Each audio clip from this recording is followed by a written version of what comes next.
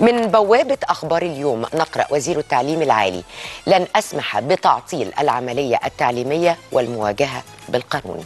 أكد دكتور خالد عبد الغفار وزير التعليم العالي على ضرورة الاستمرار في الالتزام بجميع الإجراءات الاحترازية بعد انتهاء الامتحانات وبداية الفصل الدراسي الثاني مشيرا إلى أهمية تحقيق الانضباط في العملية التعليمية وتواجد القيادات الجامعية وأعضاء هيئة التدريس والهيئة المعاونة منذ اليوم الأول لبدء الدراسة ضمانا لحسن سير العملية التعليمية.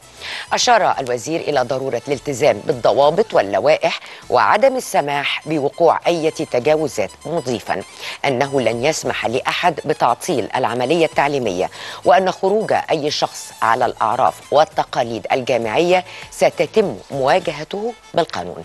وطالب عبد الغفار بتطبيق قانون تنظيم الجامعات بكل دقة لضمان الانضباط داخل الجامعات على مستوى جميع عناصر المنظومة التعليمية.